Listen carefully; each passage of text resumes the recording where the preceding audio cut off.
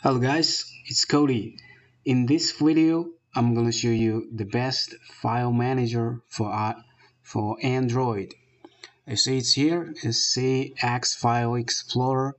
You can access cloud, remote, local network. Uh, just uh, search for it, and uh, I can search for the available local network here. I just uh, click on it to connect to browse all the files and user's name uh, input your user's name and password to connect. You see here this uh, is the share folder on my Windows PC you can uh, browse all the files copy paste and uh, I can also add another uh, remote network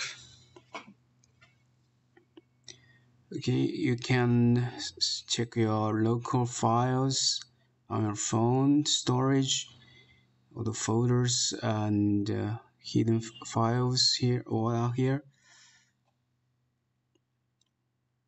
Um, copy paste paste the file from uh, my computer network share to this uh, to this camera folder camera roll. And you see here, a library uh, analyze your storage here. You see the main storage large files 4.5 gigabytes click catch files. Okay all catch files cleaned.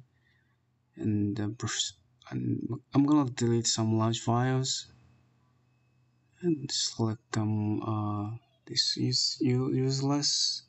I'm just uh, gonna recycle picking just uh, delete it. Delete this uh, these two files. Okay let me go back. And go back. And this is all the audio file. Video files. Documents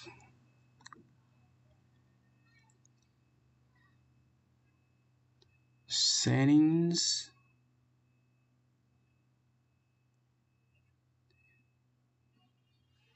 Show system storage of okay. Let me just uh, check the network option again. You see access from network.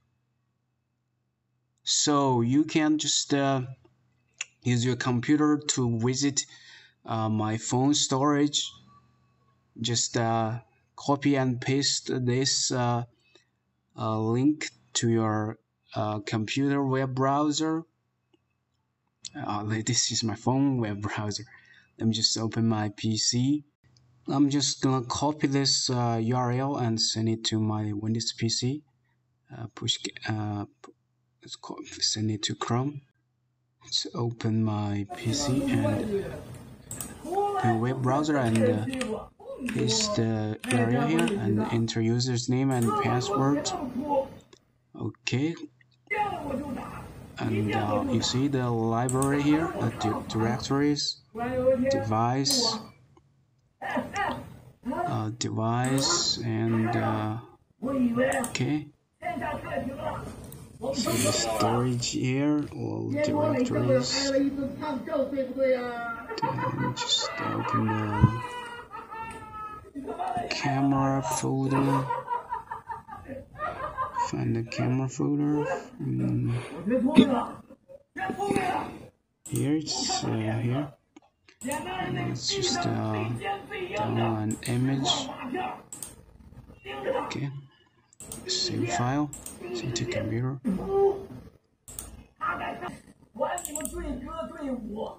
go open this file to see uh, okay.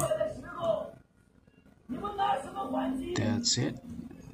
Can easily uh, access your uh, phone storage on your PC okay that's uh, pretty much it for this video.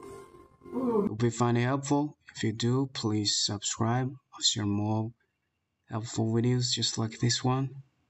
As always, thank you for watching. I'll see you in the next one.